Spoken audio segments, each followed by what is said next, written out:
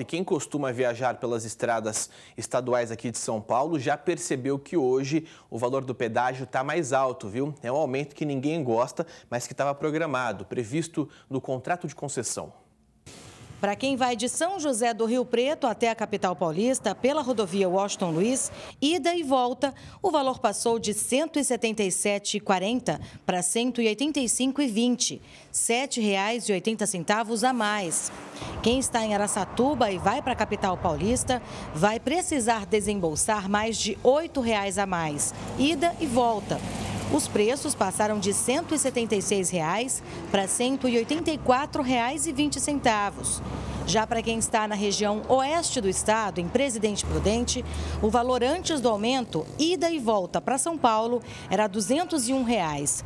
Agora, para fazer uma viagem dessas, o motorista prudentino vai pagar R$ 218,60.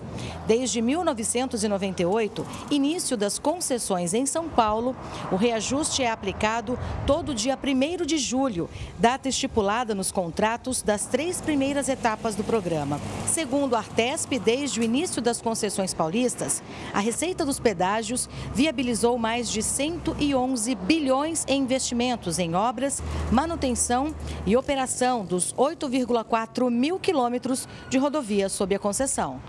Acho que tem os dois lados dessa história, né? Por um lado, a gente tem a questão dos valores, que as pessoas acabam torcendo o nariz por conta uh, de, do, do, reajuste que acaba sendo implantado todo ano, mas por outro, gente, tem a questão também da qualidade da rodovia, né?